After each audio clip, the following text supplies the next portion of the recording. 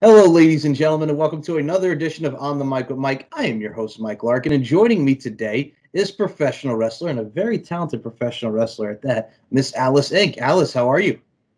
I'm good. Thank you for having me. Yeah, first and foremost, it's a pleasure and a privilege. You're doing a lot of great things, whether it be in the UK, whether it be Denmark, all around Europe, doing the thing. You're one of the most international talents that I really do have a great fondness of. And I got to say, you're taking the world by storm over there. Well, I'm trying to piece by piece. I mean, I um I always had this aspiration. I just um I came into pro wrestling a bit different than a lot of other people. I uh, wasn't actually following it so much uh, or at all uh, growing up. But um, since I stepped into ring, my aspirations always been I'm I want to be as good as I can be, and obviously getting to go to different places, work with different people is um, is making that process a lot easier. So I'm very very blessed to be able to do that. That's a, that's the thing, man. I mean, life is a blessing. And I think with each and every passing day, we always learn something new, and I think that's the great thing about the professional wrestling industry. You never stop learning. So I think I, I look at it as a plus, and there's a lot of positivity to go with that mindset. So I adhere to that one thousand percent. Awesome.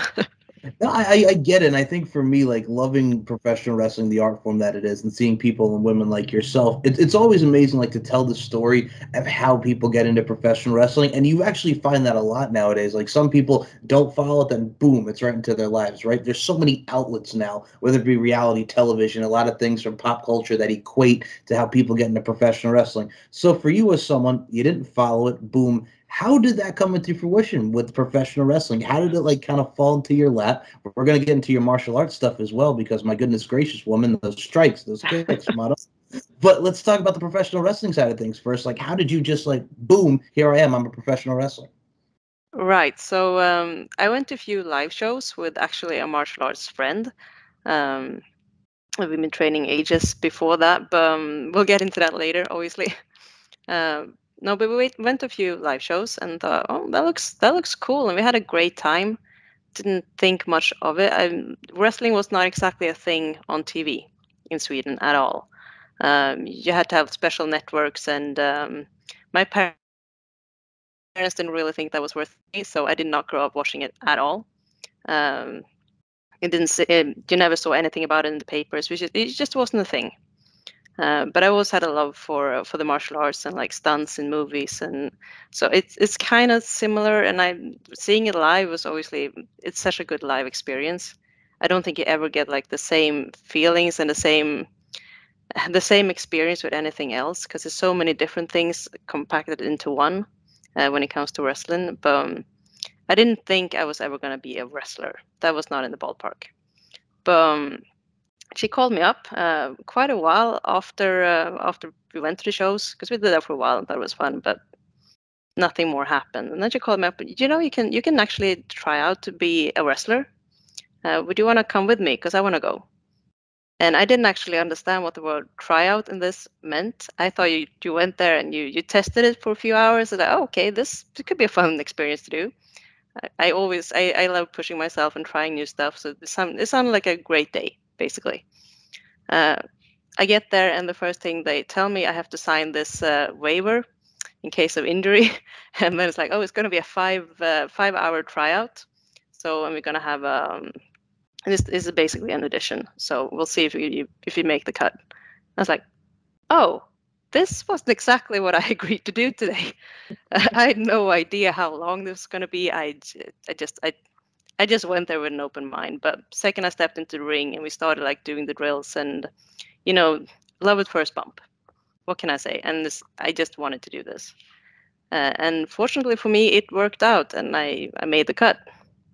So um, and we had a half half a year term for uh, for basic training at first, with the with the intent of doing your first show after like a kids show, not a proper show, but a kids show after half a year. So um, that was the first goal, and it's just been rolling on from that. Which first and foremost, I gotta say, you're going like, okay, it's gonna be a trap. Then here's this five hour. Oh, by the way, here's the non waiver. I look at it from a stance too as well. When we see that a lot in the states, and I think for me, like where I grew up, I grew up on Long Island, New York. Like the NYWC, the New York Wrestling Connection, which gave us talents like Brian Myers, Matt Cardona, Kurt Hawkins, and Zack Ryder, and so many people that went under different wrestling auspices.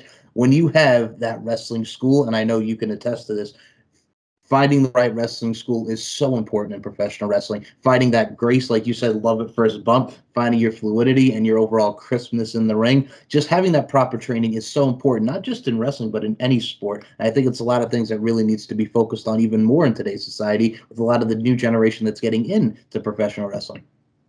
That's very true. And I mean, obviously, in the States, you have so many different schools, and uh, it's a very different scene than it is in the Nordics. Um, here, it's more of a novelty. It's very few people actually doing this.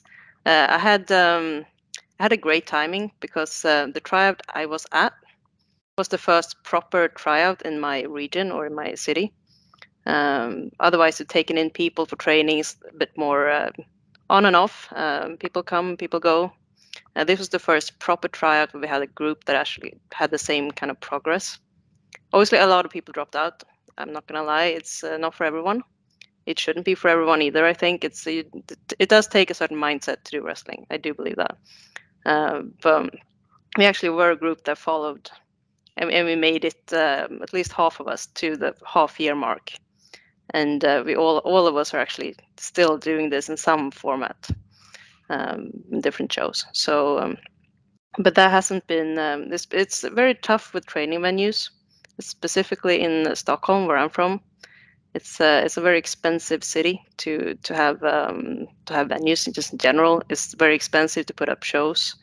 Uh, so it's um, I'm very happy that I got that first half year and got like at least the first the first introduction to wrestling that way in a condensed way and actually proper proper basic training.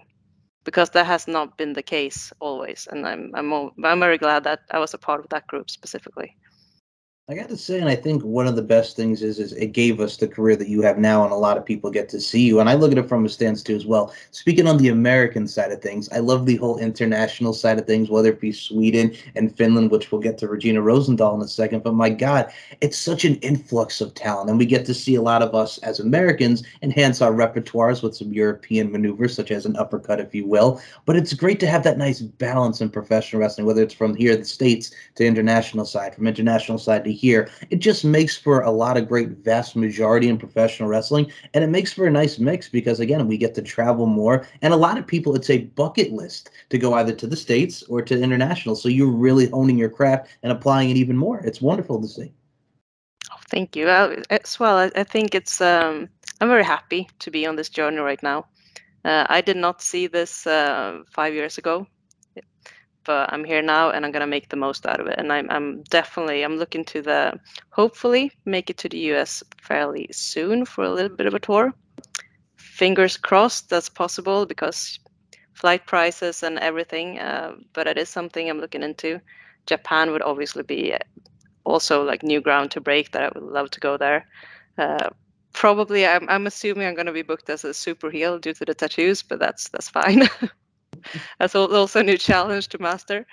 Uh, but yeah, so, so so many interesting scenes in the world, and the world is um, we're very lucky the way the way life is, and I just hope it can continue like this. Obviously, with um, the situation right now in Europe, uh, it's not it's not as great as I would hope it would be. Um, but I'm hoping things will get back to normality soon, and we can all just it's, it's, all, it's everyone is people, uh, and wrestlers is is now um, as well. I mean, the exchange you're talking about wrestlers from different uh, countries and different uh, parts of the world. We're all just wrestlers. It doesn't matter. We all want the same thing. We just want to be good at this, and we just want to just want to hear the crowd and want to have fun. And I think that's a common denominator. It doesn't matter where you're from, and that's why it works. Oh, agreed. And in today's society, and what I love about professional wrestling is that equality factor, if you will. Like you said, it doesn't matter what wrestlers are, man, female. There's a lot of individuals from the LGBT community getting into it. I think what's wonderful about that is too, and we get that diversity in professional wrestling because we get more people added to it. And I think having more schools, having more talent in it, I think is wonderful. And I think for you, and I'm going to say this once more, we're talking about Sweden, we're talking about everything international side for the Japan side of things, that's another bucket list for everybody. The strong style, and I gotta say again, Madon, those kicks, those strikes, you would fit in like a hand in glove, ma'am. So I mean, it goes into it, and you nope. were talking, yeah, right. Like I'm just saying, from like face and heel side of things as well, like you talk about that heel factor. I think whatever how you apply your craft and from seeing your work, you could be a big baby face, that white meat baby face, so to speak, or that intense heel. I think you can nail it both down pat. Like you said with the tattoos, it gives you that edge. And I'm gonna say, Miss Aliss Ink., you got that gravitational pull sort of towards you because a lot of people they see that edge, it works, man. Um, that's what I'm I'm hoping, but I'm just trying to be. I mean, I'm always trying to be me, and when I'm when I'm Aliss, I'm uh, I'm me just turn up 500 percent. Um, so um, and it's, it's, always I think everyone has that badass uh, person within them as well. Just bring it out. Okay, I'm just gonna do this. I'm gonna I'm gonna. The the mindset when I go into the ring is the same mindset I have when I've had like um, martial arts fights, like proper um, tournaments and stuff. I have the same mindset. I, I always walk into the ring to win. It doesn't matter if it's wrestling. I go in regardless of what the plan might be. But the mindset has to be right, because that's that's the that's what it is. That's uh, that's what I'm portraying in this. If I don't believe it, why would anyone else? That's the beauty thing about professional wrestling. And I'm going to say, for those who are non wrestling fans and you tell them wrestling's about storytelling, they look at you like you got three heads. And I'm like, you don't understand. Like the mechanics and the science of holding on a lock and really showcasing that pain, that evoking emotions, that's what makes the story, that's what makes the story. You know what I'm saying? The perfect baby face, the protagonist, the perfect heel, the antagonist. It's like a story, it's like a book. And what you're doing is you're applying your, your canvas right in the ring there. So it's one of those things where it's like, if you have a good story, if you have something that could hook an invest people, boom, you're in. And that's what's really wonderful about professional wrestling. That's completely right. It's all about the story, and um, yeah, this. The, I mean, the thing is, everything is about stories. You, I think humanity is built on stories, and wrestling is just uh, is is another way to entertain by the medium of stories.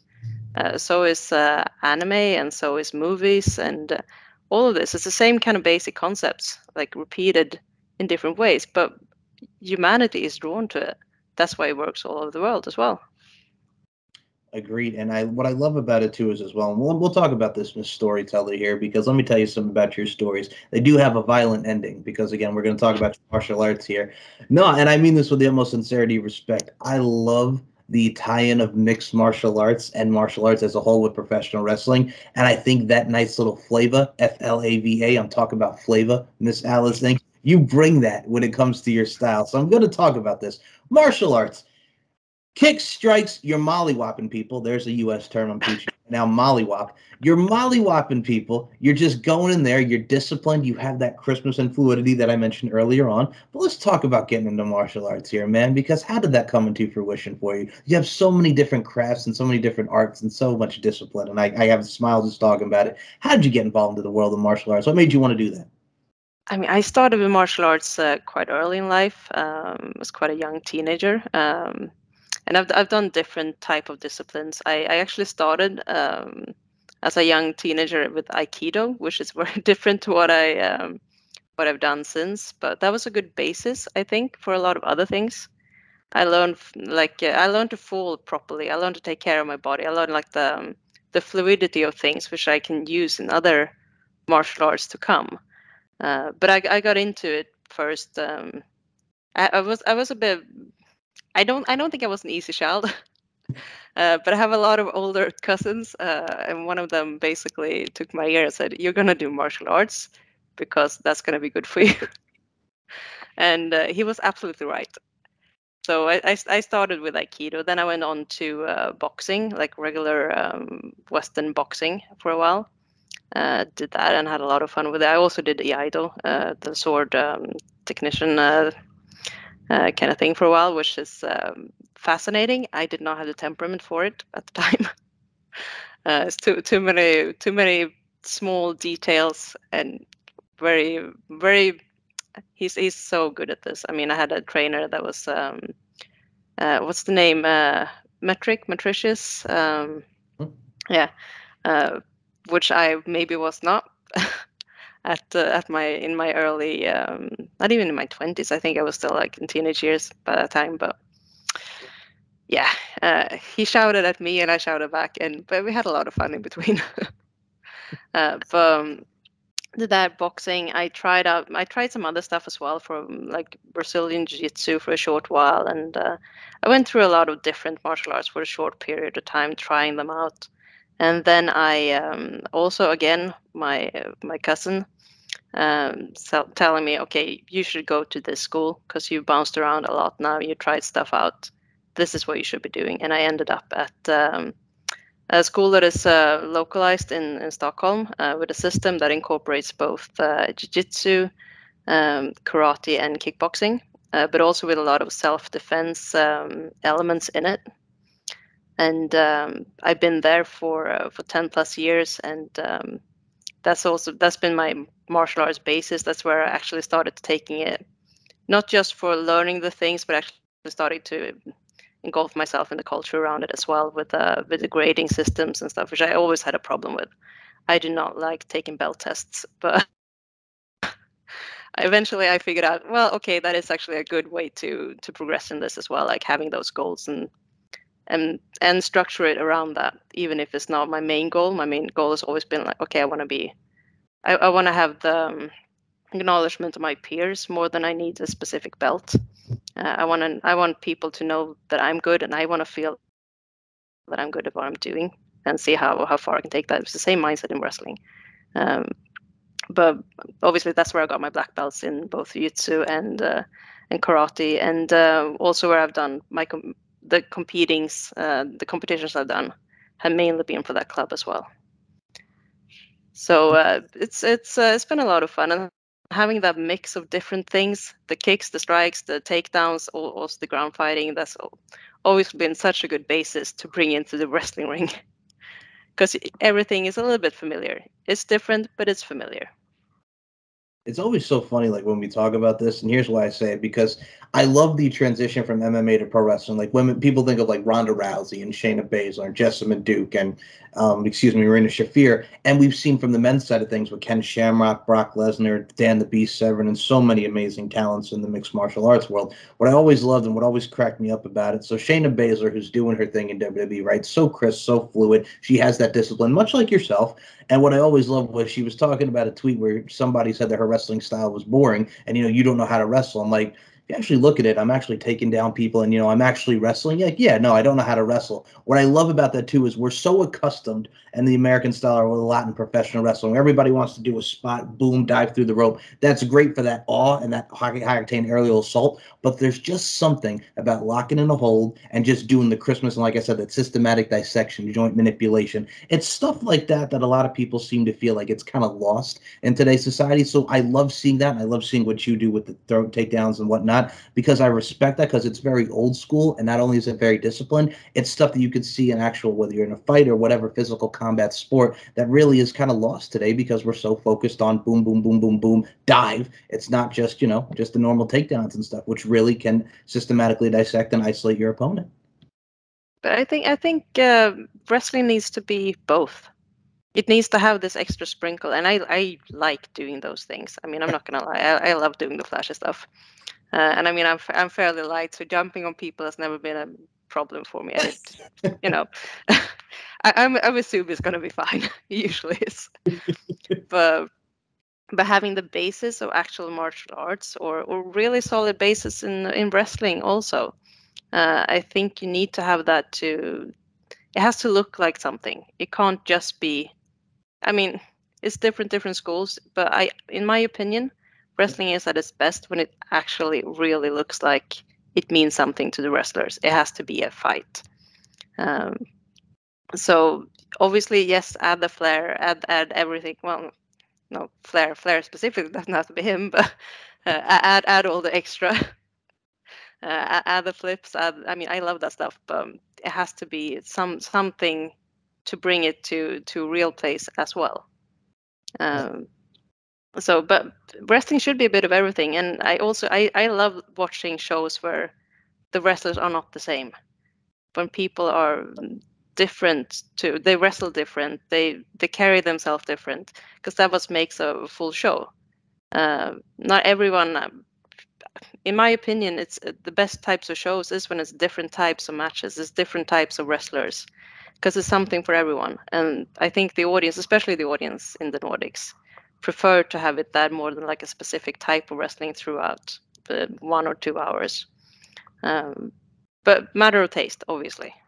Of course, and I think for me, like my one of my first influences, I'll say this: like Jeff Hardy it doesn't matter where he is. He'll always get over. He'll always get that crowd reaction. If you want to see him do a swanton off a ladder, you want to see him do the swanton. It's one of those things too. Like you can have a Jeff Hardy on a card, you can have a big man on a card. There's something about it that has that variety, like you mentioned, in that prowess, which is so great about professional wrestling. And what I also do love about it as well is, and I want to ask you about the MMA pro wrestling tie-in. How awesome is it to see? Like I mentioned, like those names like Ronda and Shayna, and in the states we have a promotion called Invicta, which is run by Shannon Knapp, where a lot of women like Shayna Baszler came from. It's like that feeder to where we see like the UFC girls, like a Paige VanZant who's in AEW now. How awesome is that to see from women in mixed martial arts coming into pro wrestling and vice versa? You know, we get to see both of professional wrestlers and MMA mixing it up, whether it be in an octagon or whether it be a professional wrestling ring. How amazing is that just to see the evolution of how that relationship has grown?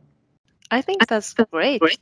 I mean, especially because I think in the martial arts community, um, not as much now, maybe as it has been, but it's been a little bit. Pro wrestling um, was a little bit looked down on for a while, um, for, for reasons being maybe how it was portrayed back in the days when it's uh, presented as sport more than entertainment, uh, and the evolution of that is obviously a different uh, different thing. But I think the martial arts community kind of didn't exactly take wrestling seriously the same way as it is now, but uh, or or the same way it does now, because now it's so much exchange. It's so much people crossing over and doing different things, and so it's like I said, it's similar, but it isn't the same, and it shouldn't be the same. Um, this is like comparing a banana to an apple.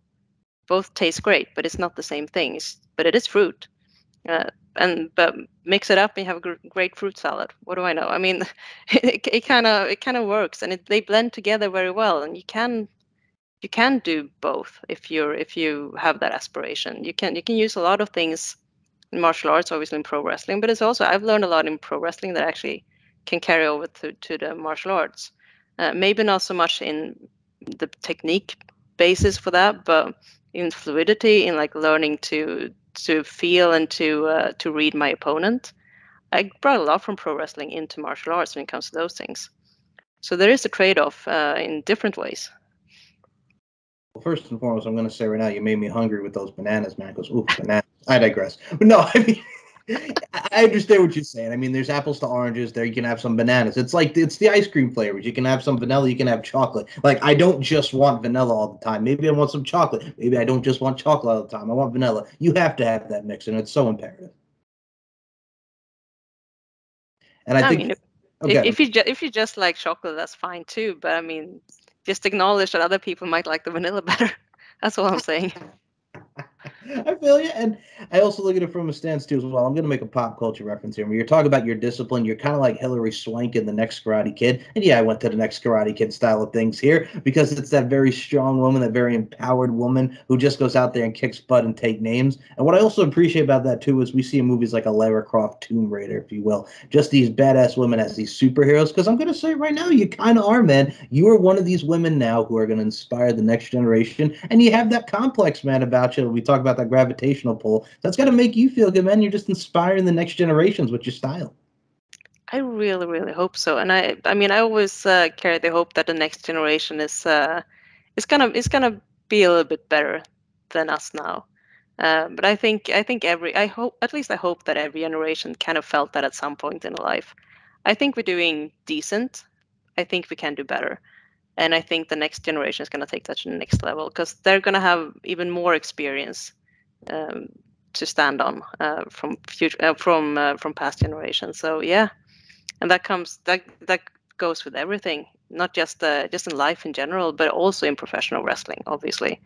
And looking at the women's uh, evolution and everything, I mean, I, I, watch I watch a lot of wrestling um, nowadays since I since I discovered it. So I have a lot to make up for, and I watch different uh, eras and different kind culture from wrestling.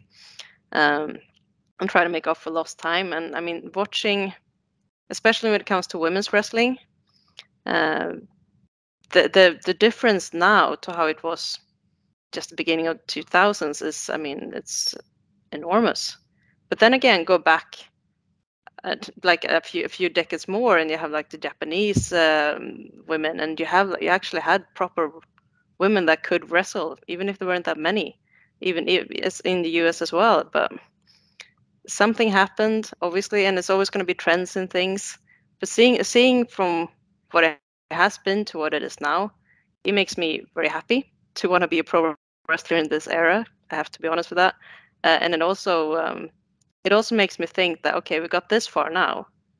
Now let's bring it to the next level, and that's what the next generation I think is going to do. So if I can inspire a little bit of that, I'm going to be very grateful and I think you most certainly will. First and foremost, with all due respect and love towards you, Miss Ink. But I think you will.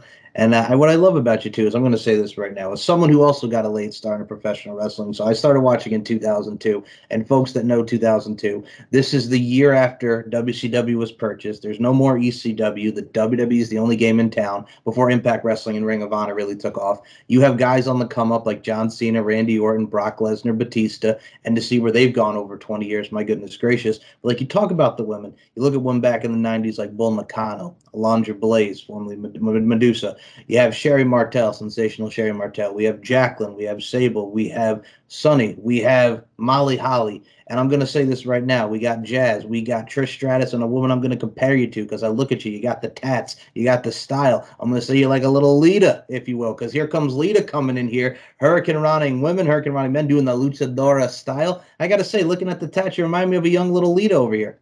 Oh, I mean that's that's a very big shoes to fill. Not literally, but figuratively, extremely big shoes to fill. Well, that's the She's. I mean, that's that's. Uh, she really was a trailblazer. I mean, there's been a, there's been so many women that has been trailblazers for for what is now, but she's she might be one of the um, one of the biggest ones. One of one of the wrestlers I actually knew was a wrestler before I, I actually knew knew about wrestling because she made she made an impact that was even heard up in the Nordics. Like, okay, this is someone famous, and she's famous for this. Even if I hadn't seen her perform, that's something I knew. And, and you so. look at women that equate with like Chyna, God rest her soul. And I mean, you look at women like Beth Phoenix. The Lita thing kind of came into fruition for a lot of people because at a time when WWE, you saw a lot of fitness models. And Trish Stratus, before she came into WWE, was a fitness model. You had Victoria, who also was a fitness model, and they you know, boom, became two of the trailblazers in their own right. But Lita had that je ne sais quoi, if you will. Yes, I'm going to talk about that je ne sais quoi when it comes to the fact that, you know, you got this luchador style at the time, like we were mentioning the early 2000s. No one would ever see a woman do a Hurricane Rana, not just on her opponents, but on men. Like it was something that made the Hardy Boys and Lita thing special. The Hardys would do the work, and then here comes Lita, boom, twist, hurricanrana. You're like, oh my God. Like that stuff to see where that's evolved to, where we see so many aerial assaults that we were talking about, like your Hurricane Ranas, your splashes, your corkscrew planches, if you will, over the top. It's one of those things where it's like, God dang, man, this is something new. This is fresh. It's a variety. Like you were talking about that sprinkle sprinkle it up. There you go. It's wonderful. And for me, I know you're talking about big shoes, but I also look at a woman like if you look at NXT 2.0, I kind of see a little Ivy Nile in you. She's doing her thing with the Diamond Mine, Roderick Strong's group. Very has that stature about her, that crispness. You got a little Ivy Nile to you, so you could see a lot of different varieties into your style, and it meshes well for yourself, Ms. Allison. Well, thank you so much. And I mean, it's uh, obviously this is an honor being prepared, compared to these women because I think that's women I watch and think, wow, okay, I, can I aspire to be even a little bit as as good as this? but I mean, it's it's always I'm I'm always I also I also have um, this um, I'm very I'm very skeptical about my own work. Usually, it takes a while for me to to to actually even even watch my matches back. It it takes a while, and it's kind of like something I need to prepare myself to do. Uh, so because I always see I when I when I watch myself in the ring I see every little detail, everything, every little thing, even if no one else is ever going to notice. I'm going to think, oh, okay, that's not good enough. Because I am a bit of a perfectionist when it comes to those things.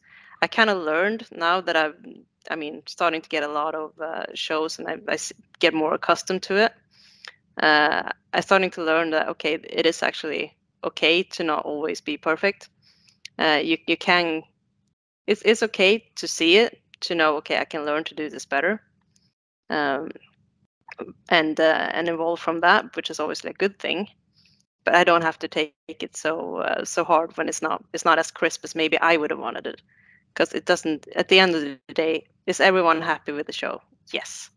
Okay. Did did everything? I mean, what was the workmanship between the people in the ring? Good enough and up to par. That that is the most important thing as well, and the audience happy. We're all good. Then I then I can I can nitpick at every little piece that I've specifically done. I never I never nitpick anyone else though, which is the thing because when I watch anyone else in the ring, I was like, wow, I, I want to do that. Why why am I not that good? so that's always the feeling. That's always the struggle, I think. But uh, that's also what makes. Uh, I think that makes for a good um, a good evolution on a personal basis. I think you need to have that drive to always perform a little bit better. Never never be satisfied. Right. That goes with any walk of life. And I think with yourself too. First of all, I love that. And I can respect that too, because every little nuance, every little thing that goes into your character and your overall art, art artistry, if you will, you know what I'm saying? You like that. It's very meticulous and boom, like we talk about the discipline factor. I mean, I'm going to use an Italian word here. Sometimes things may get fakakted. And for those that don't know what fakakted means, sometimes may get a little, things may get a little fucked up, if you will. You might mess up a little bit, but it's stuff like that where, you know, it happens but also at the same time, as long as the people are up on their feet, there you're getting a reaction from the people. You're evoking that emotions. Then you're doing your job. Exactly, and this is also it's live. You don't get second chances. It's uh, it's it's one of those things, and I think every live performer, it doesn't matter what you actually do. It's, it's always um, not everything is always going to be hundred percent to plan. Um, but what you have to learn is adapt. And wrestlers in general, I think, is phenomenal at adapting because you really need to think quickly. Um, if you can't think on your feet, you can't wrestle. Um, it's almost like that evolution T-shirt when Triple H, Batista, and Randy Orton came back in 2014, and they were going against the Shield. Right? It's the T-shirts the saying it's like you adapt or you perish. Which I'm going to say right now. First of all, great heel mannerisms right there, and a great line for such great heels and impactful heels. But if you look at it, it's very, you know, it's very true. You either adapt with what you're doing or you perish and you fade away and you classify yourself as obsolete. But I digress. No, it's one of those things where it's like stuff like that really can motivate you. And I think in life, anything can motivate you or it can, like, you know, dissipate you. So I think you're using it to your advantage where you're motivating yourself. You know yourself, you know your worth. And that is a great mindset to have. And I got to say, it's the spirit. It's right in here, man. You got it right in here. You got the heart. Yeah, exactly. I mean, I've, I've come off shows and I felt like I should not be doing this this is why why am I why am I traveling all these miles and why am I why am I doing this? I'm just not good enough. But then again, you, you like I said, you you process and you think, okay, so this and this and this wasn't perfect. Was the was the whole okay? Yes. It, I mean, it was. It's fine. You don't have to kill yourself over this thing. Just uh, take a deep breath and then you work harder. And same with martial arts. I mean, sometimes you don't you never know what you never know what you're gonna face uh, in a tournament, for example.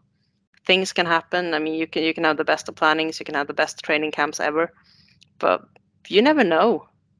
And if if that is enough to not make you to not make you continue, then you didn't want it enough, and that's just the way it's gonna be, and that's your choice. Agreed. And what I love about you too is, and we're going to talk about this here. So Regina Rosenthal, we got to talk about this with Finland, man, because her, oof, Madon. I'm going to say this right now. I've had her on the show.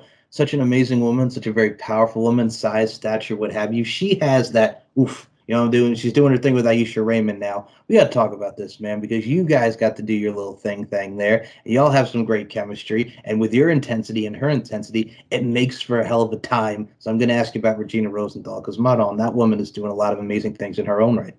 Yes. Oh, she definitely is. And I mean, ah, I love her. no, but she's uh, she's amazing. Um, we we got to know each other. She she brought a lot of women in for a training camp that I was a part of in Finland. That's how how I got to know her first. Uh, she's one of the the veteran on the veterans on the women's side in uh, in the Nordics. She's uh, and she's absolutely amazing. She's um, she's been through some tough times in wrestling and she's pushed through and she's uh, she's gotten where she is now and uh, i have nothing but good things to say about her honestly. So um uh, but yeah we actually did finally get to go up in the ring together a few weeks back and uh ah i mean that's also one of these things is we've both been waiting so long for this. Um was it perfect? No it wasn't but uh, I'm so happy to have to have got that first match down, and I hope there's going to be so many more to come. Uh, we didn't have that much interaction in it because uh, it was it was a uh, it was a handicap match, kind of. It was um, it became a triple threat. It wasn't um, and uh, obviously with uh, Regina and uh, Aisha t- doing a bit of heelish teaming uppins. So so I actually didn't work so much with her, and I kind of wish I would, we would have gotten that chance, but we will eventually, I'm sure. Um, she's uh, yeah, she's just awesome in every way, in wrestling, in life, and I wish her all the best always. Same, and I'm going to say this right now with the, with the most respect to the three of you, yourself, Regina, Aisha. Y'all are three good ones in the professional wrestling game. Y'all are, y'all are good people, and I, I think what's great about it too is as well, like you've gotten to see. I've seen your stuff with Stephanie Mays, which I'm going to talk talk about Stephanie Mays here. My God, kick you and her with the kickboxer style. It's it's another one of those things. I'm like, my God, and this is why I love the strikes and kicks about professional wrestling, man. Just an impactful strike kick, like we were talking about kickboxing and mixed martial arts on overall discipline. It's stuff like that where it's just like mouth jaws drop. You know what I'm saying? Such an impactful maneuver. She's another one that really sticks out. So I had to give Stephanie Mays as well some credit because my God, another one tearing it over there in the Europe scene. She's also, I mean, absolutely amazing. Uh, um, and we had the pleasure to share the ring as well um, on her home territory. So um, yeah, that, that, was that was so much fun, uh, and we went at it pretty hard, pretty much uh, strong style on that one. so um, before IWI um, promotion, and um, I think it's South Germany. I'm very bad with geography. well, it was I, it was I, very warm and lovely, so I think it was South. Now I can attest to that. I laugh because geography and math was never my strong points in school, so I'm okay with that. I can respect that as well. Oh, thank you. oh, you're welcome. No, and here's the thing too. Uh, yes, you're correct. South Germany. So it's it's one of those things too as well with the Stephanie Mays, and I've seen you do your stuff with Chantel Jordan, who's another amazing talent. Now, looking at what you get to do from the female side of things, kicking butt, taking names, magnifico. One of the other things I also have to put in there as well is the intergender side of things. I know you've been in there with a gentleman by the name of Demon Lock, and you've done a lot of intergender matches. Now, here's what I love about the intergender scene. Uh, AAA introduced us to a lot of women and men intergender wrestling, which we saw in Lucha Underground here in the States. Uh, we've seen a lot in professional wrestling in general. I mean, look at the comedy scene in the 80s. You had Andy Kaufman, God rest his soul, from Saturday Night Live, you know, intergender champion of the world, Jerry Lawler like that was the comedic side of things. But what I love about the evolution of intergender wrestling, it's just it's great to see a lot of great, powerful women such as yourself and amazing men just mesh. And we've seen men and women train together in training schools and training classes and seminars. So I got to ask you about intergender wrestling and talk about first of all Demon Lock, great match. What are your thoughts on intergender wrestling? Because you've been in a lot of great intergender wrestling matches as well. I yes, I've, I've had pleasure of working with so many good men as well in wrestling, and um, Demolock, definitely. We had a had a um, ongoing feud in uh, Stockholm uh, before COVID, uh, so it's been a while now. Um, but yeah, that was so so much fun. Um, I mean, we got some really great matches out of it, and as well, I mean, in Body Slam, had the Scandigrap tournament um, that I eventually won against Carlos Zamora in the final, um, and so, so many other. Uh, just the intergender wrestling in itself, I think it builds for very good storytelling.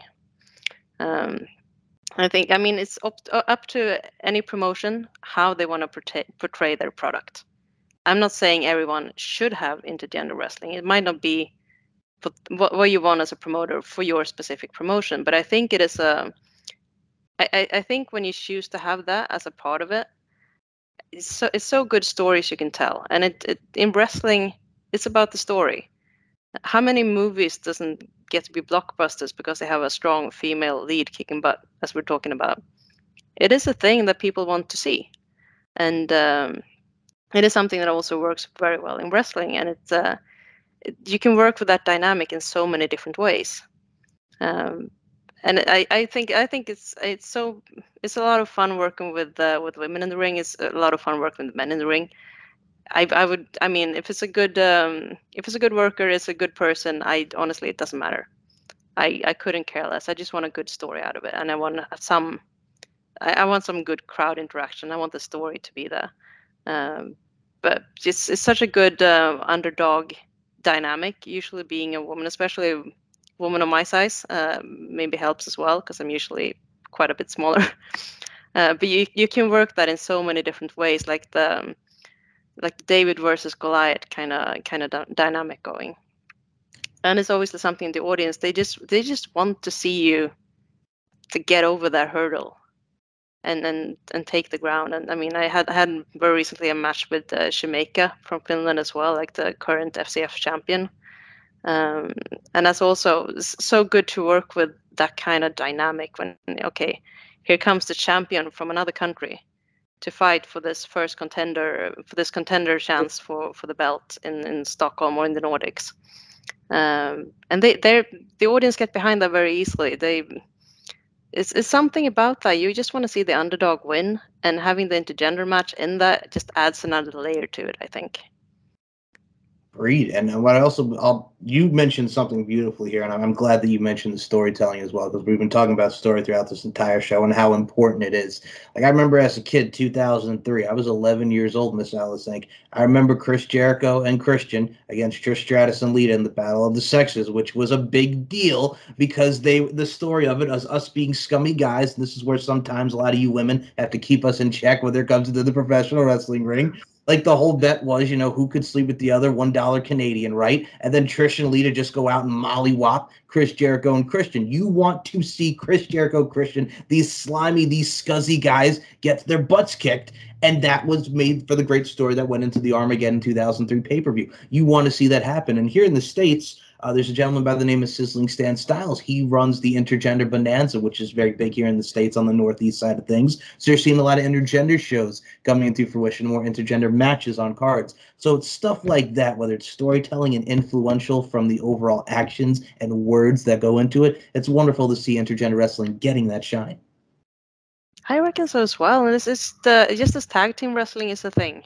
Yep. It's uh, people want to see vari- variety in things, and I mean sometimes you want to see two women fighting, sometimes it should be two men, sometimes it should be four people of whatever genders or non-specific genders as well. It, it just it should be different. Everything should have its thing and be specific from the other things, so it becomes a, a variety as a whole, and that's something the audience can enjoy for a longer time, and it's it's entertaining because you don't you don't want to listen to the same song over and over again, how, no matter how good it is uh, that's not going to be fun for two hours straight for most people. Yeah. Then again, we all, we all we all get a little bit too. Uh, so, so, so, I mean, I'm not saying there's no exceptions ever to that rule, but but generally speaking hey, I love me some Europop, and if I had to keep hearing Ace of Bases, "Don't Turn Around," and I saw the sign, I love those songs, but I'd like to listen to more more stuff. You know what I'm saying? And I'll be honest with you, when you look at Sweden, like I was a kid, like I love the Muppets. Like I, I don't really always want to see the Swedish Chef all the time. The like I love that, but you know what I'm saying? Give me some more added variety with the Muppets. You know what I'm saying? So. It's one of those. Imagine living here. We hear the Muppet all the time. Ah! I mean, well, okay, maybe, maybe not quite. so here's the thing. And I love that because all right, we'll talk about this here for a second because you want to we're bringing up the Muppets. All right, so here we go, Miss Allison. The Muppet movie, the Great Muppet Caper. We had the Muppets Take Manhattan. We had the Muppets in space with Hulk Hogan included when he was a part of the NWO very briefly in WCW. toward the end, like there were so many Muppet Muppet movies. It's like, all right, already we get it. You know what I'm saying? Like yeah. they could have stopped at a certain point. Like Muppets in Space was 99, and then I think they did another one years later. But I'm like, it's the Muppets. We know we're, we're gonna get Kermit the Frog. We're, we're gonna get Miss Piggy. We're gonna get Gonzo. We're gonna get all these people. We're gonna get Ernest Burgundy. We know we're gonna get the Muppets. That's also very true. And I love the Muppets, but man, once we like got into like that role in like the mid 2000s when they came out, I'm like, all right, I know. Well, I, will I'll be honest with you. Here's what's always a stand time here in the states, like Christmas time, right? Christmas is beautiful. You're surrounded with the family. It's wonderful. The Muppets Christmas Carol is always played a lot, and because it's just well, there's so many different adaptations of a Christmas Carol, right? There's the Jim Carrey movie from Disney. There's this, there's that. There's so many different adaptations of it, but that is one that always gets played a lot. Is the Muppets Christmas Carol. So I mean, hey, if you have a Christmas tradition like that, right? I mean, in, in Sweden, it's actually um, we do watch Donald Duck for Christmas for some reason, which is not very Swedish thing to do. but that's on at three o'clock still. At television has been for my entire life and way ahead of that as well. So Donald I don't know. M- Muppets is not that big of a stretch to be fair. Ah, Donald Duck. Okay, I can appreciate that. No, all right. So, all right. So I'll take it back here. So back in the day, the Disney Channel, when I grew up in the '90s, what I always used to love is like at one o'clock or two o'clock in the morning, like in the early hours, right? They would play old school Zorro when Zorro was a TV show, not the Mask of Zorro, the Legend of Zorro with Antonio Banderas. We're talking about the original Zorro TV show. And here's the the odd lineup here, folks. Right after Zorro, we had the Mickey Mouse Club. So if you want to groove to some early Justin Timberlake, JC Chasez, Christina Aguilera, Britney Spears, you have some Zorro, then kick button fighting Zorro, that action hero, and then we have some Mickey Mouse Club. Talk about a variety right there. That is variety. Agreed. but no, but as you were saying as well, I, th- I think uh, the problem with the Muppets. To be fair, I'm not counting Treasure Island in this because I still love the movie. I love it too. All right. but so so except for that one, but I think the Muppets always stayed kind of the same.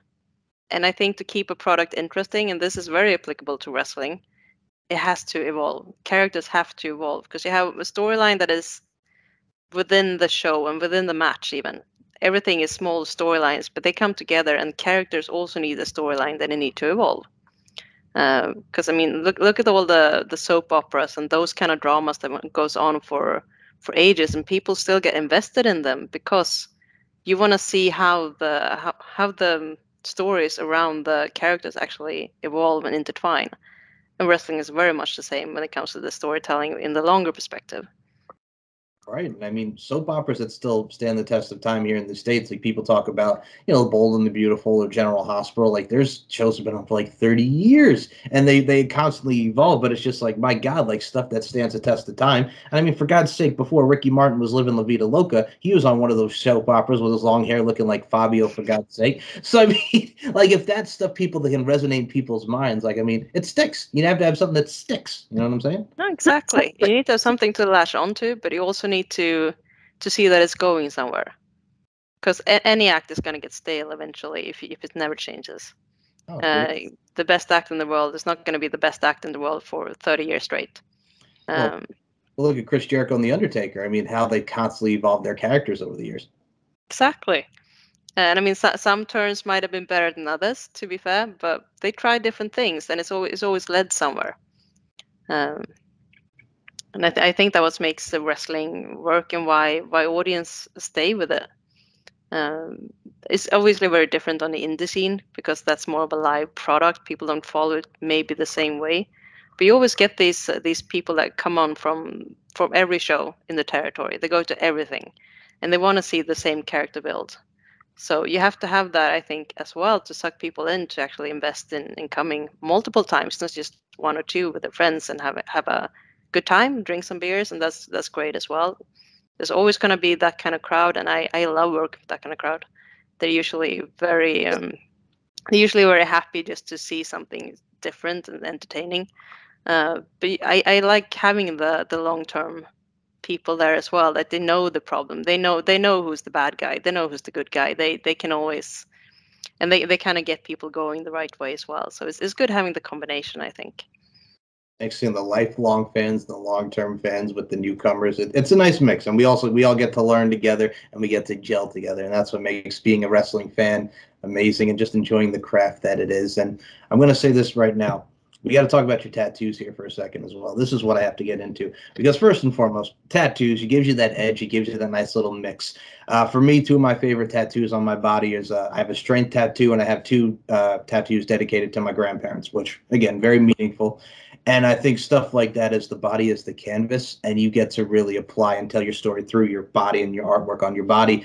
And you're kind of like the illustrated man, if you will. For those who remember that book from back in the day, I'm taking it back to my senior year in English class, Madonna and me. But no, I digress. It's one of those things where tattoos are very symbolic, and it's very, you know, it's very formidable with imagery, within magazines, what have you. So I got to ask you, Miss Aliss Ink, Ink pun intended, which by the way. uh, tattoos, man. How did you? When did you first get your first tattoo? Talk about the tattoos that you have that are very symbolic to you. I had to ask you about the tattoos because I mean, apropos with the ink, but I got to say, you got a nice tattoo. I got to admire the ink. Thank you so much. Uh, no, I had my first one done when I was 17, hmm? which is uh, a little bit too early, maybe. For uh, I hope my parents aren't watching this, but no, but it, it, I, I had a, an interest for tattoos from uh, from quite an early age, uh, fascination with the art form. Um, so I, I, was really, really wanting to get my first one as quickly as I possibly could. So I got it at 17, and then I had a few um, a few ones after that as well, quite quickly done. Um, the the tattoo era hadn't exactly bloomed bloomed yet in Sweden. It was still a lot of like you know you went to a tattoo shop, they had their books uh, with you know the the standard tattoo things that they could do. Um, all the Miami Ink and all of those shows hadn't really started airing here yet, so um, it hadn't really been like the custom tattoo idea wasn't wasn't really that big. So what I did when I um, when I wanted to start getting tattoos, I did my own drawings. Uh, it's like, and I always had a fascination with uh, fantasy and with those kind of stories, and uh, always read Tolkien, and I, I am a huge fan of uh, Terry Pratchett and those kind of like worlds and um, everything around it. So I decided, okay, I'm gonna I'm gonna have a lot of dragons. That was my that was my idea as a 17 year old. Um, so I started making, and I did a few tattoos with the dragons, um, and they did not age well because, you know, you went to a cheap studio somewhere, you didn't actually understand that. I mean, it is more more of a quality product than quantity, maybe. Uh, so so I did a few tattoos quite quickly, but uh, they have not exactly stand the test of time. I have some of them incorporated though in the artwork I have now, because uh, I um, I took a break from tattooing um, early 20s. Uh, 20s.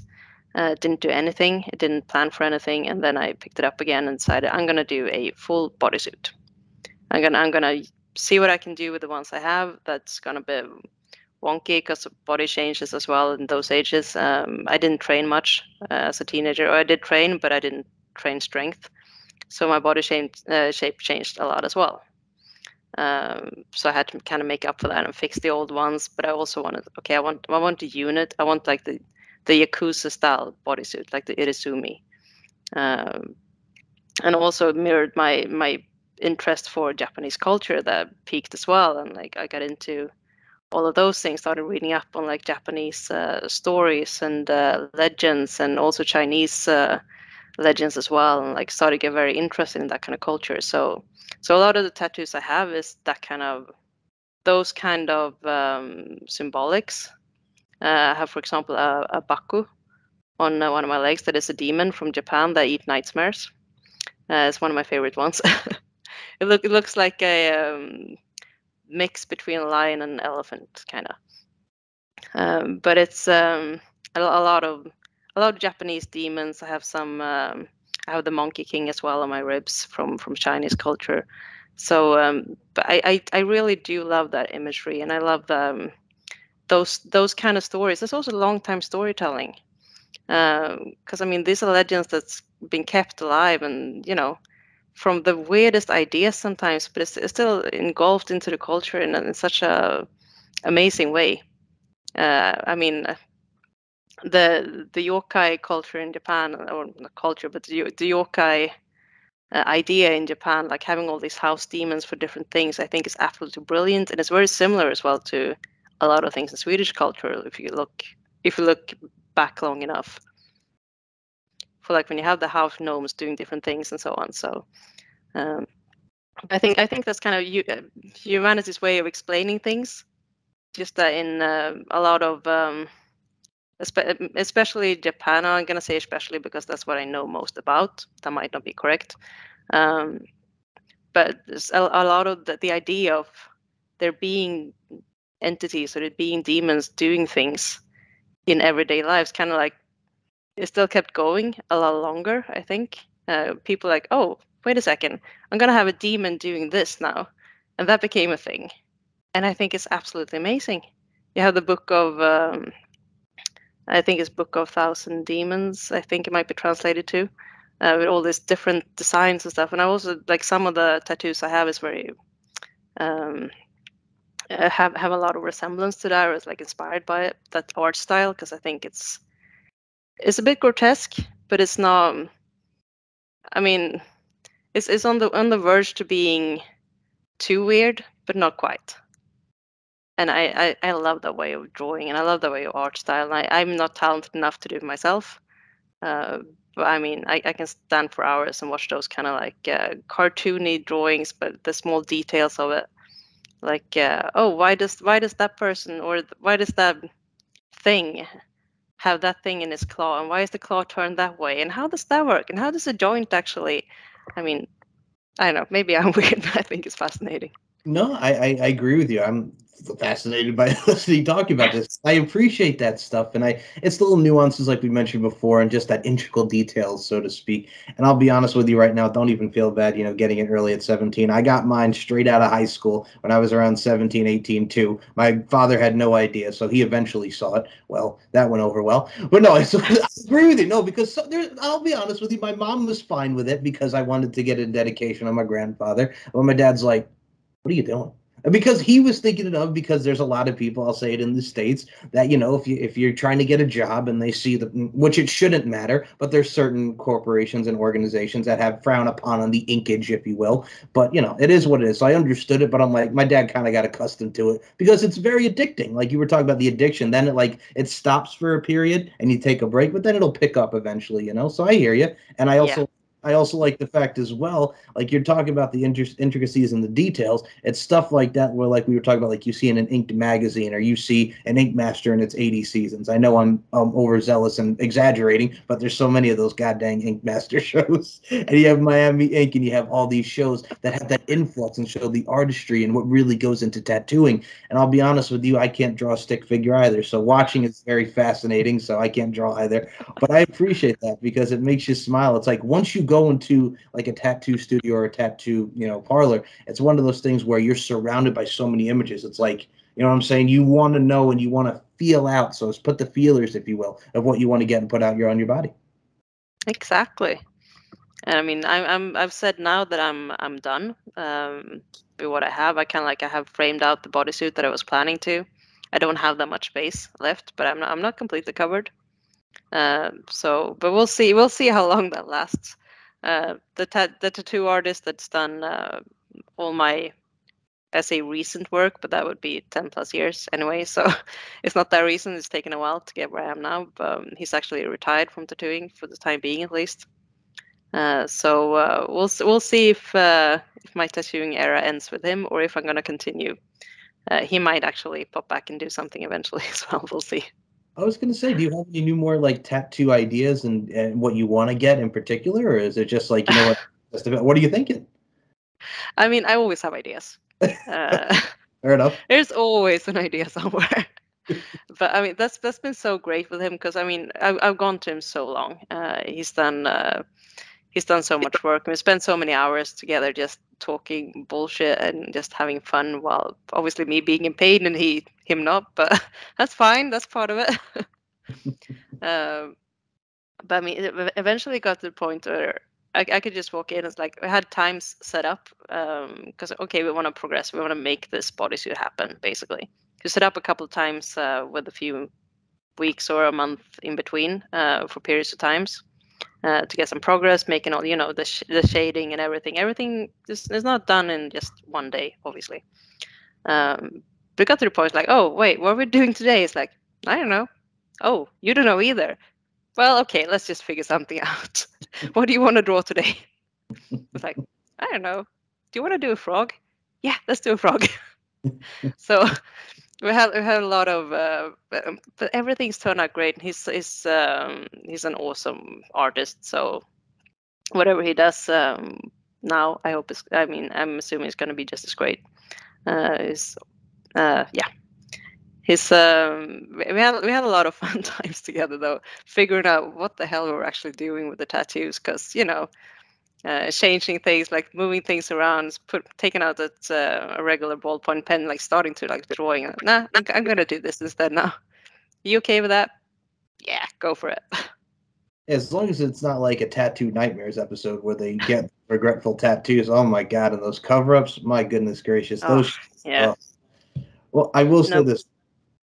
No, it's it's funny because it's like you watch those shows, and I apologize for cutting you off there, but it's like you watch those shows, and it's just like, first of all, most of these people are intoxicated when they get this stuff done, and it's just like, what in the world are you thinking? Because I think the number one rule in tattooing is like, you don't get a person's name on you because number one, you don't know how long you're going to be with that person. Number two, Come on now, that's just common sense.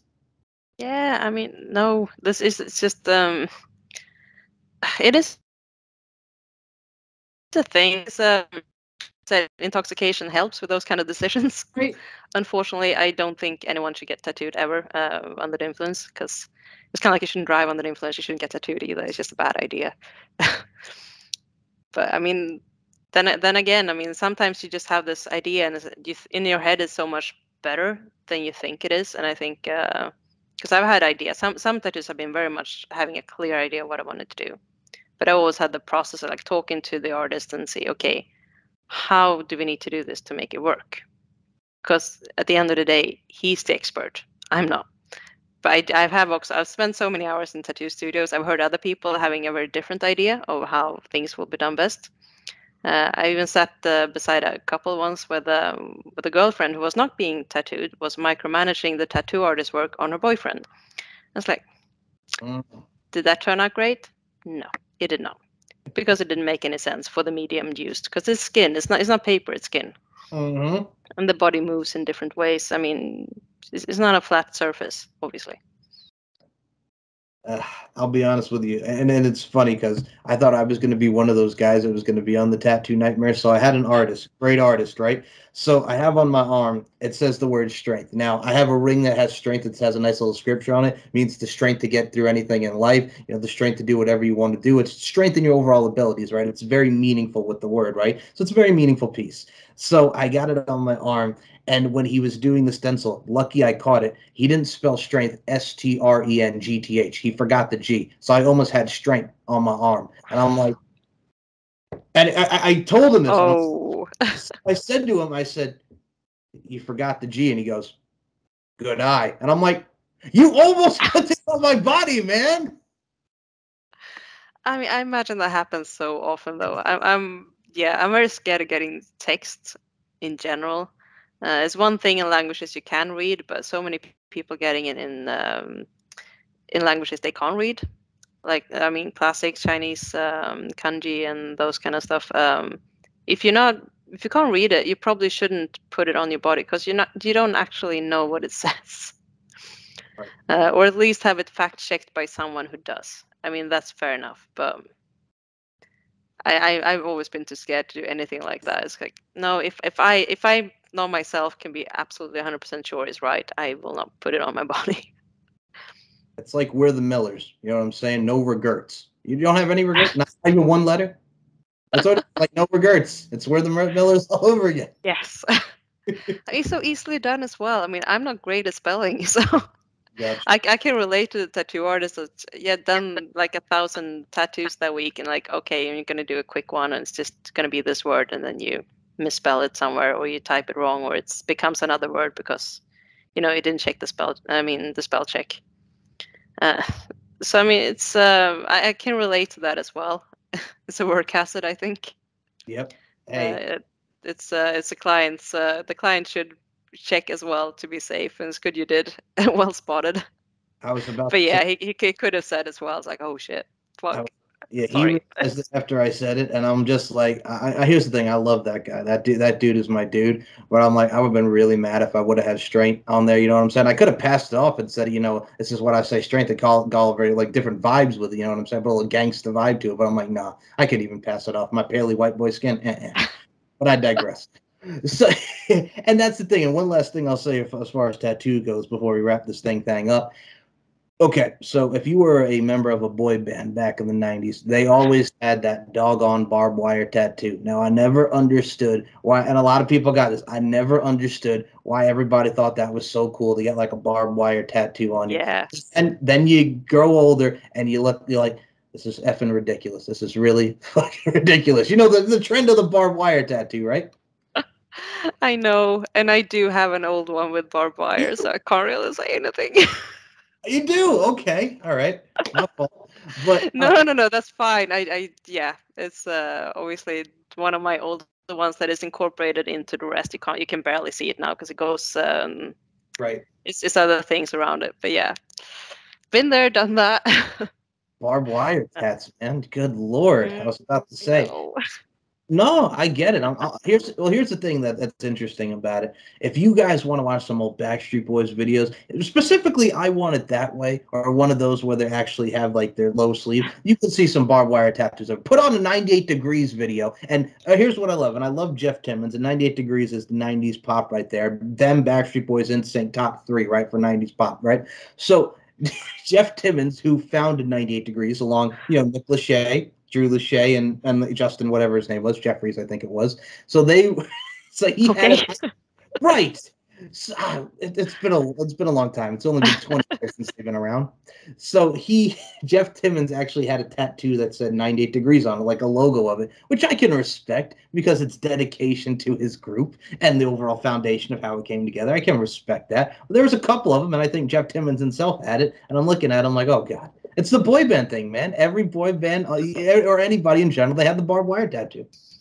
I mean, I think uh, at least in Stockholm, I don't know if I can say Sweden in general on this one, but in Stockholm for a while, you can see a lot of people doing their first tattoo, at least the first visual one, uh, like not not the barbed wire thing around the arm, but you know the um, the Indian uh, feathers going yes. down like a um, that was so common. You you can almost like you sit on one of the more busy streets in in Stockholm. It's like just count them. And you can you know, it was a fun drinking game. Uh, that it, it was that bad for a while. I did not think that that. But yeah, that was that was the one I think that hit the hit the most here. For I don't know why, to be honest. Uh, but it was definitely a thing, and obviously the the tribal in the neck and everything with that, obviously as well, uh, during the nineties. So. what times, man? But I gotta say, it's, it's a lot of good times and it's a lot of memorable times, and these are the memories and memories that we create and are yet to be created. So I think that's wonderful, and that's what makes life so amazing. And speaking of amazing, you, my friend, with your internal and external beauty and your overall craft that you apply, you're doing a lot of great things. And I'm gonna say right now, I wish you nothing but continued success. Thank you, and the same to you. And I'm so so so much fun talking to you. Uh, thank you for having me on the podcast. Very welcome. I'm going to say the overture's here, man. We got to do a round two in the future. I'm I'm putting out the overture to you. We'll definitely I'll definitely get you back. Definitely, I I would love that. So just uh, yeah, we'll let it sit for a bit, and then uh, I would love to have an encore. A couple final things here. Well, first and foremost, being a professional wrestler that you are, obtaining that knowledge that you have, what advice would you give to a lot of the young talents coming in, female, male, what have you? What advice do you have, man? Because again, you're a book of knowledge, you're learning, you're constantly learning each and every day in professional wrestling. What advice would you give to the up and comers? Oh, I would say um, know your worth uh, as a wrestler and as a person. Uh, don't take shit, but never keep, never stop pushing. Always try to be better. Uh, always try to be the best you can and want to be. Uh, um, because I, I think um, in the wrestling business, as it has been and and still is to a point, um, you have you have to. Th- there is this kind of how do I put this? Uh, there there is this kind of initiation thing still going on, and like you know, you're a rookie. You uh, obviously coming from martial arts background, it should be a it should be a hierarchy for things. I do think that is healthy. Uh, you can learn from the from the people coming before you, but it should always be respected back. Um, and should should respect goes both ways. Uh, so know your worth with that specifically. You should be respected as a as a as a rookie or as a as a veteran, and uh, you can both learn from each other. I think. Um, but also when you when you go out and like if you start going to different promotions, touring, don't doubt yourself. Be the best you can be, because that's always that's that's what people are hiring. That's what people are paying the tickets to see. That's that's you being the best you can be. So always try to be that. Um, Beautifully said. Eloquently said. I think you hit the nail right there, man. That's it's so true. It's so true. Oh, thank you. no, you're very welcome. I'm smiling just thinking that because I, I don't think you could say it any better. And I, I think in this day and age, especially, you know, with everything that's going on with mental health, which is very important, I think a lot of people need to hear that because there are a lot of lives that are worth it. Every life is worth. And there's a lot of things that a lot of people want to do, but they can be very apprehensive of it. So just go out there and do it. Do the damn thing, if you will. Put it bluntly, Four words: do the damn thing. Exactly. I mean, I have um, like I was talking about my cousin earlier, and um, him Yeah. and his brother has a um, has a saying: "Nobody remembers a chicken." Um, so, so don't be a chicken. Go out and do what you want to do. I am gonna use that now. Nobody remembers a chicken. I like that, man. Takes back I to love that as well. That is so okay. That's very fitting. You know what I'm saying? It, it's almost like Back to the Future. You know, nobody calls me chicken. Michael J. Fox. You know, friggin' Butthead and Biff. We'll go there. There you go. Right? Hey, but no, I think that's very apropos. Don't be a chicken. Know your worth. Do the damn thing. We'll be here all day. Eloquently said, my friend. Now, before we close this out, Miss Alice Inc. forms of social media. There's Facebook, there's Twitter, there's Instagram. Hell, we even got a little TikTok now doing the thing thing now. That's the big trend. Let us know where we can find you on all forms of social media. The floor is yours. I am uh, most active on my Instagram. Um, you can find me as Aliss uh, underscore Ink underscore. Uh, but I'm also on Facebook as Aliss Ink. and on um, Twitter as Ink Aliss. So, and I'm not on TikTok yet. I'll I'll work on that one. Okay, well, all right. Uh, well, we're going to say this because a lot of people have mixed feelings about the old tickety tock, or as I like to call it, the upgraded version of Vine. Because it is, people. all right, it's what it is. Don't act like you don't know that it's some upgraded version of Vine. Hell, we had Tout back in the day, and that failed miserably for WWE, and it was horrible for those that remember Tout. So I digress. It's one of those things where it's the new trend right now. It's the TikTok. Mind you, there is more to just dancing and doing stupid ass challenges on that damn thing but I understand it why other people why people do not do it because it can be very you know monotonous if you will mostly like all social forms of social media but we have to have it in this day and age to promote so there's some positivity to each and every form of social media so yeah and yes check out her Instagram by the way because my god woman beautiful imagery beautiful promo videos and all that I saw you doing your thing Wrestle Island Rumble entrant is that correct man you're doing your thing over Yes. there Rumble? all That right is very true. I'm going back second time to Wrestle Island. It's uh yeah, I mean a 30 man rumbles. That's gonna be a blast. oh my goodness yes I'm very excited and I hope you win I'm going to say that right now I hope you win So do I. and I'll say right now as well, woman, you're talking about if you ever come stateside, I'll buy a ticket. I'll come see you. I definitely want to be in the crowd when Ah. you're in states. Well, I will definitely be posting that everywhere if that happens. So fingers crossed. Cross. I know it will happen. I believe in you. So before we do close this out, the our links to the social media, Facebook, Twitter, Instagram, everybody can find Aliss will be below this audio here and on my YouTube channel. But I will say this, my final words as I always say, beauty, strength, and dominance are three key elements that make women the work of art that they are. And Miss Aliss Ink., I include you in those sentiments. Thank you so much for your time. And give one final, you're very welcome. Give one final shout out to the fans that have been supporting you since day one. Please go ahead. I would not be where I am if I did not get the support. And I, um, you're amazing. Don't forget that there would no, there would be no show without fans. There would be no wrestlers without fans. Um, so we talk about know your worth.